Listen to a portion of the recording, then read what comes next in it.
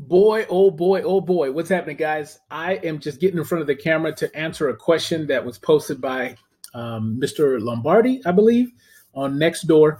Uh, this gentleman happens to be looking for a local bank slash credit union that is not big corporation.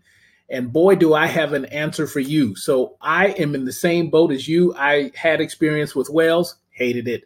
Had experience with Bank of America, hated it and uh, I do have a solution for you. If you are into nonprofit organizations like credit unions, I totally 100% uh, endorse and and I am also an ambassador of Mountain America Credit Union. Uh, right on right next door to Popeyes on Ellsworth Road, you will find Mountain America Credit Union. And if you mention my name, everybody in that bank, except for the new employees there, they pretty much know me because, and here's why I love the bank.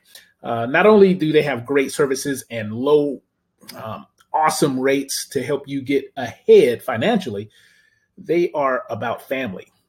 Now, if you do this, if you open up a My Style checking account with as little as five bucks, get this, they will credit your account 100 bucks.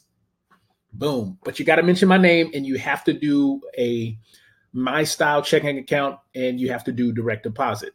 So if you don't mind doing that, you are going to get some excellent solutions by being a part of that banking institution.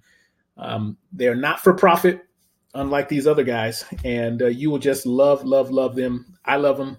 Uh, so mention my name, Xavier Smith. Uh, 828 is my birth date in case they ask for that. But that sh- my name should do it, and you should be taken care of, my friend. So I hope that answers your question. Let me know if you have any questions. Message me or uh, reach out to me. Uh, I- I'm here to help. Bye bye. Oh, I will put the link down below so you can learn a little bit more about Mountain America. All right, bye.